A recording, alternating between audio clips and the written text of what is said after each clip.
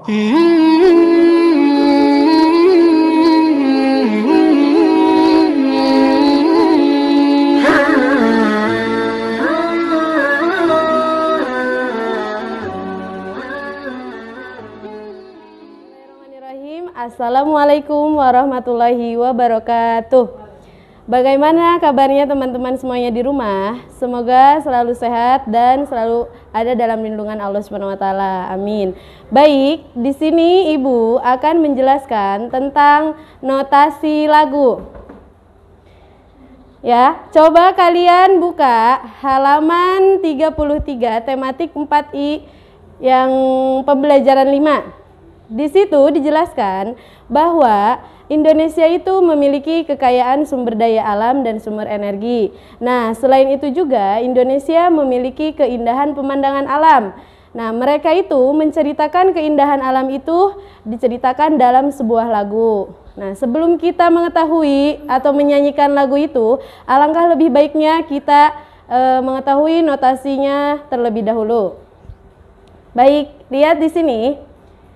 Di sini tuh ada not tentang lagu Memandang Alam. Coba Ibu tanya dulu, pada lagu Memandang Alam itu terdapat not apa? Ya, notnya itu adalah not angka dan not balok. Nah, ini yang disebut not angka. Not angka itu artinya not yang bersimbol angka. Sedangkan not balok yaitu artinya not yang bersimbol dengan yang bulat-bulat. Biasanya ada yang bertangkai, ada juga yang tidak bertangkai. Itu tergantung nilai ketukannya. Kemudian kita lihat di sebelah sini ada tulisan do sama dengan C. Do sama dengan C yaitu bernada dasar C. Jadi lagu ini yaitu bernada dasar dari C. Kemudian di bawahnya terdapat 4 per 4. Nah 4 per 4 di sini yaitu birama yang artinya ketukan. Jadi lagu ini ketukannya yaitu 4. Nah setiap ketukan itu nilainya 1 per 4. Kemudian di bawahnya terdapat kata andante. Ini artinya adalah tempo lagu. Andante di sini yaitu artinya sedang. Berarti tidak cepat, tidak lambat, sedang-sedang saja seperti orang yang sedang berjalan. Kemudian lanjut ke bawah, ada not seperti ini ini artinya tanda kunci G. Ya, jadi kalian kalau menemukan not seperti ini, artinya not kunci G tandanya. Lanjut ke sebelah sini. Nah, ada garis seperti ini. Kemudian di sini juga ada garis. Ini artinya garis birama, yaitu garis yang membatasi notasi. Nih lihat, ini notasinya. Nih garis pertama, garis terakhir. Ini pembatasnya. Nah, kemudian selanjutnya ada tanda seperti ini. Ini artinya tanda berhenti atau diam. Nah, diamnya di sini yaitu bernilai satu ketukan. Jadi, ketika kalian bernyanyi dari sini, nah berarti harus berhenti dulu di sini, yaitu bernilainya satu ketukan. Yang terakhir, nih di sebelah sini ada tanda seperti ini. Ini artinya tanda dimulai dan berakhirnya suatu lagu. Ini tanda berakhir, tanda mulainya di sebelah sini, bisa dilihat. Nah, ini adalah tanda dimulai dan berakhirnya suatu lagu. Dapat dipahami? Oke, baik kalau dapat dipahami, lanjut.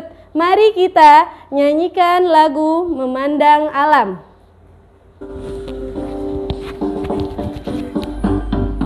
Memandang alam dari atas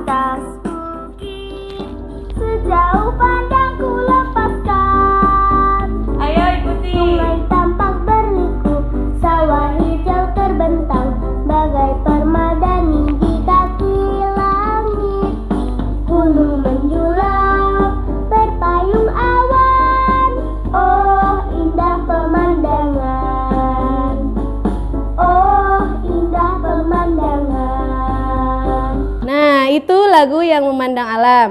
Baik, selain ada lagu yang menceritakan tentang keindahan pemandangan alam, ada juga lagu yang menceritakan tentang keindahan bunga, yaitu salah satunya lagu Bungong Jempa. Nah, Bungong Jempa di sini berasal dari daerah Aceh. Nah, bunga jempa itu disebut juga dengan bunga cempaka kuning. Ini sama ya, notnya seperti yang memandang alam. Nada dasarnya dari C, biramanya 4 per 4, kemudian temponya andante, dan ini tanda kunci G, kemudian ini tanda awal dan berakhirnya suatu lagu. Tapi kalau di sini, nih lihat, perhatikan, ini tanda berawalnya suatu lagu. Nah, berakhirnya di sini. Nih. Kemudian yang di sini ini awal lagi dan berakhirnya di sini. Untuk menyanyikan lagu Bungong Jempa itu setiap notnya terdapat lirik dua. Nah, kalian jangan sampai keliru. Lirik yang pertama yaitu yang ini, yang paling atas. Kemudian disambung ke sini, lirik yang kedua yang bagian atas. Nah, setelah sampai sini, ini dinyanyikan sebanyak dua kali. Nah, habis dinyanyikan sebanyak dua kali, baru dilanjutkan ke sini, yang paling atas. Lalu terakhir yang ini, ini juga dinyanyikan sebanyak dua kali. Begitupun selanjutnya. Nah, marilah kita nyanyikan dulu lagu Bungong Jempa.